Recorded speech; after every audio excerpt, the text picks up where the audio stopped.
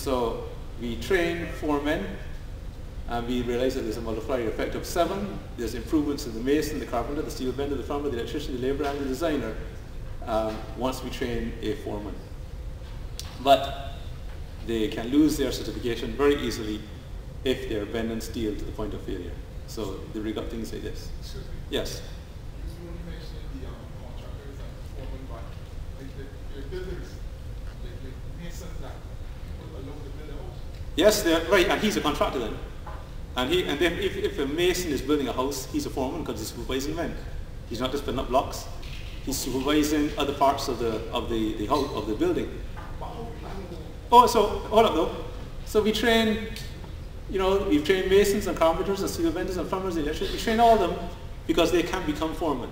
We train them to become foremen. We train them. How do you know if you're trained? Oh, fine. You know if you're trained because you go into walbrent.com you see about 300 people there that are trained already. 300. So I can as well tell you, if you are building a house right now, and you're entrusting this three, four, five, six hundred thousand dollars to a fellow who is not trained, that is crazy stuff. right? So what homeowners usually do is they just hope that he knows what he's doing. They hope. They're taking three, four hundred thousand dollars and they hope, well, I hope you know what you're doing. Hoping doesn't make it, um, doesn't create knowledge and fellow. Go on to walbrent.com. Well, actually go to the foreman on the site, ask him, are you certified? He will say yes, of course, he will say yes. Get his name, go on to walbrent.com, and then you can check to see if he's one of the certified fellows. If he is, you have no problems. You have no problems, I tell you, you have no problems. If he's not, you have a world of problems. Guaranteed, a world of problems. All right. So corroding, beam reinforcement, um, seeing more and more of this. So the fellows come and they put up the formwork for the beams, and you should be using some kind of smock, some kind of uh, separator, so that you keep the rebar, oops, you keep the rebar cage in the middle, so that there's enough uh, protection, concrete protection to your steel. If you don't have these things, usually the fellows sometimes put some smocks on the bottom but not the sides. So when the concrete comes, it shoves all this to one side. And therefore there's no protection whatsoever on one side. There's a lot of protection on one side, lots on this side, but if this thing shoves up against this formwork, then the rebar is seen and it corrodes away. And the fellows come and they try to patch it up and it keeps corroding and spoiling the concrete and it's a mess. Very um, difficult. Um, so eventually uh, it spoils and you just have to, to demolish the structure or part of the structure. But all unnecessary, all you needed to get is some smocks to keep the rebar cage in the middle. Moisture problems, these are things that we are seeing a lot of in existing buildings, a lot, and I, I believe um, if I'm seeing so much of them, you probably have some too. Help is here on the way. Um, so that's moisture running up the wall. So if you have a roof, you really should put on the gutter. Should put on the gutter. Um, the fellows usually put around this uh, pavement right around the house, but that doesn't guarantee anything really. It's a useful thing, so it's muddy, you can walk around the house, but it doesn't prevent this moisture from running out the walls. So if you have a gutter, please don't do this. Just extend the pipe away from the foundations. Right? Extend the pipe away, don't keep the, don't have the pipe here and then soak, soaking up. Well, then what we have is this moisture and it rises up. And rises up. And when you have moisture underneath, you're sure to have your termites there hiding away. And then they go in the house and do a lot of damage. So, this is what happens. The fellow have this here, but what he didn't do is plaster on the here. So the moisture came, even though he has this, the moisture came, soaked up in the block, and the block is saturated, and that, that becomes, and there you have the mold problems, and the damp problems, and especially with black mold, that's very dangerous. Um, so you need to plaster this. Now again, if you have a house already done, and the fellow put in one of these, and you think you're having moisture problems, well just knock out a piece of it and seal the plaster underneath. This is a little deceptive because by having this right here, you think that under here is plastered because above is. So you think underneath is plastered. It's not because it's a way of saving some money. Um, so uh, you plaster it, but you must plaster it with a waterproofing agent in it, like say or Radcon 7 or Penetron. You have to add in some waterproofing agent. You can't just plaster it because the plaster itself is porous. So it's like you're not doing nothing. So you plaster it with a, a waterproofing additive. And that should prevent that from happening. My recommendation, strong recommendation, is that when the fillers are doing the foundation, get them to plaster it right away. You can stop here. You don't plaster above right, right away, but certainly the foundation, because that's a special type of plaster, because that's the one that has in your waterproofing additive. So make sure that's done. Um, otherwise, he's going to use the same plaster that uses above, and then it's not waterproofed. So even though it's plastered, it's still not waterproofed, and therefore you get the damp problems. Unless, again, you want the damp problems. Say, I like the moisture. If you don't want it, then uh, do this. Um, right, before your contractor hands over the house to you, I recommend that you get some toilet paper and you put it around each joint. And if it's wet, tell them, no, you're not finished yet, come on, finish it.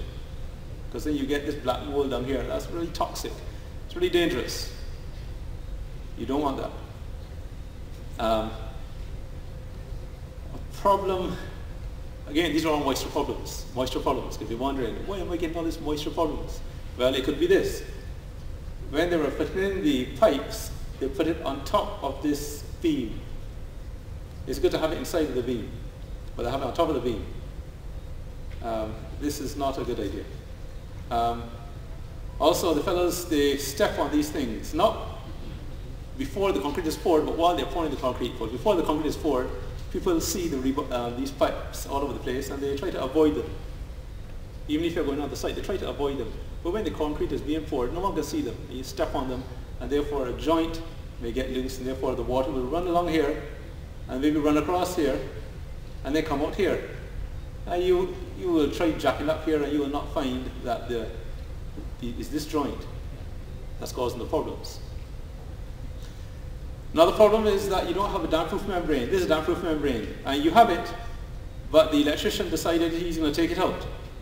Right out. You know, these fellas, you know, they just do these things. Um, actually, he cut the rebar so that the moisture will come up, and therefore your damp-proof membrane is no good. You had it in, you paid for it, but it's no good because the contractor, well, the, can't really blame the contractor. Well, you have to because you really should repair it. Um, but the, um, usually as the electrician, he had to get his pipes in. And he comes in on the weekend and does it. So no one can see him, but then you see it there. Uh, or they don't lap these joints. If they don't lap the joint, then moisture will come up through it. Um, another moisture problem is if you have timber in contact with concrete, you need to waterproof between the timber and the concrete. Otherwise, especially on external uh, walls, the moisture will get down here and therefore you have a wet condition and this will eventually get wet rotted. A wet rotted timber is very weak and therefore the house blows away during the hurricane. So you want to make sure you have some damp proof membrane under here or you can uh, paint under there with some uh, liquid rubber or something but you want to prevent moisture from rising up and creating a damp condition to your timber when you're going to put in your window or door jamb, um, you put the door jamb in here and then you, you drill a little hole because you put in, use these blue screws, these concrete screws. Uh, and it will usually, if it hits it and the water's under pressure, that's the best thing that can happen because then you know that your, your pipe has been hit, water's spewing all over the place, you can get it repaired. But usually it doesn't get um, punched right through. It just gets fractured. So the screw is long enough to really just um, fracture it. So all is well unless water authority sends some water at some high pressure. And you will normally get that if you are in a water catchment where the water authority is pumping water through. If it's by gravity, then you're okay. It's just a constant flow, you know what the, the, the high pressure is. But if it's pumped, sometimes you get these spikes.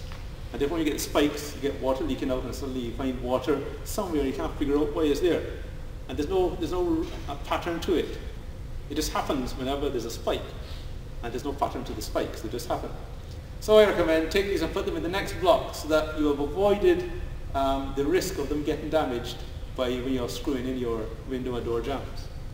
Do not have any pipes, especially electrical pipes, because then you, you drill through and you maybe remove some of the sheathing on the cable, and that is a fire hazard. Most of the fires in Barbados are electrical fires, in the Caribbean actually are electrical fires. And it probably is um, having to do with that. You get some arcing because you've now damaged the cable. Um, roofs, well, usually the fellows do these little um, U-bars, cast them into the concrete, and then they drill a hole in the rafter, is typical, and then they put beam fill to prevent the vermin. And the building code says you can use that. I say don't use it at all. Building code says you can use that, which is the method I just showed you. I say don't use it at all. Um, use this. Truss anchor, preferably two. So you have them there sticking up. Of them, and you put your rafter through there, and you lap it around, and then you pour your beam fill to prevent the vermin from getting inside. And then you cut these off. Now that presents another problem. Um, if you're using, let's say, a termite treated um, timber, like termite treated pine, it's a good timber to use. Uh, can you hear me? Oh, right, because I'm turning this way, but I'm not sure you can hear. Otherwise, it just wasted all your time. um, if this is termite treated timber, by cutting it, you've now created a vulnerability because it's sort of ejected into it and it doesn't get right in the middle. So it's ejected and the end is treated and all the sides are treated, but once you cut it, the middle is exposed. and The termites go in there and start eating. So if you're cutting it, then you must get uh, Terminix or some um, termite treatment and apply it liberally to the end. Every time you cut a piece of timber, get some termite treatment and apply it to the end. Otherwise, um, it's not so good. So if you have used uh, one of the old methods, then you can get one of these Furnin rafter Furnin connections and use the blue screws and connect your rafter to your beam. These are your connections. Uh, screws, they should be at 6 inch centers, but at least two of these Furnin lengths. What I recommend instead of doing, because it's a calculation that you could do, I recommend just 6 inches throughout the whole roof. You can't go wrong. 6 inches throughout the whole roof, you cannot go wrong. Termites, um, since you have Parsons and Rentokil and the Flit and JSPS and all these fellows poisoning the soil, the termites have gotten very smart. Uh, I don't know if it's a mutation or what, but they've gotten very smart. They realize that since they can't come through the soil and therefore come up in the building, they run up the tree and they go across wherever a tree is in contact with the, uh, with the building and they come down from the heavens and eat away. So instead of they come in from below and eating up, the smart termites now are coming from above and eating whatever they can find. Make sure that there's no tree touching your house. Just cut it back. Otherwise, you've got to call Oli on these fellows and let them, uh, or rent some Willie's equipment. Just um, your termite damaged roof, uh, or your walls that are corroded, um, and you have this problem. So there's some resources. First resource is the five common critical construction errors. I have a pamphlet here, and if you go to the Walbrent College's table on the back, you can go and pick up one of these. It's free. Here it is. It's free.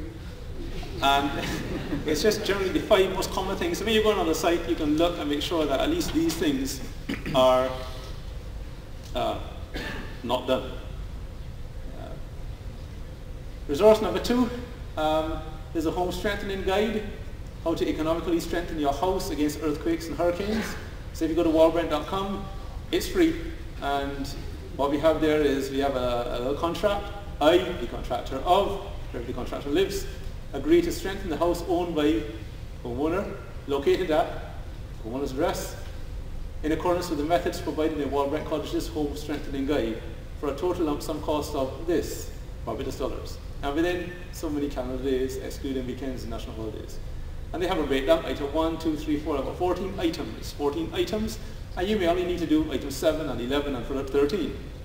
But the complete thing is there, depending on what problems you have in your house.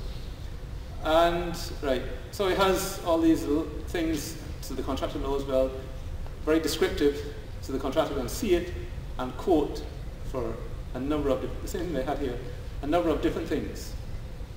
There's just a, a few of them.